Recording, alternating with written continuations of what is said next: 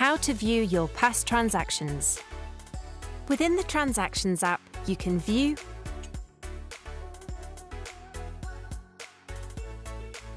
search,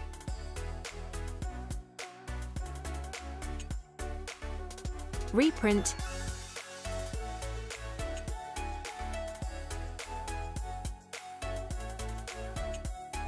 and refund transactions.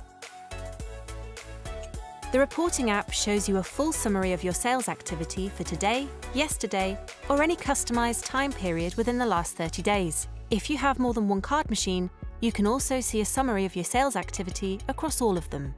The summary will include payments in gross and net format, refunds, and cash payments.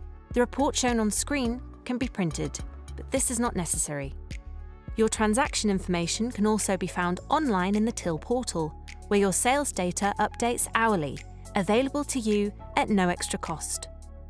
If you've added items to your inventory, you'll also be able to see a report of what you've sold across different time periods.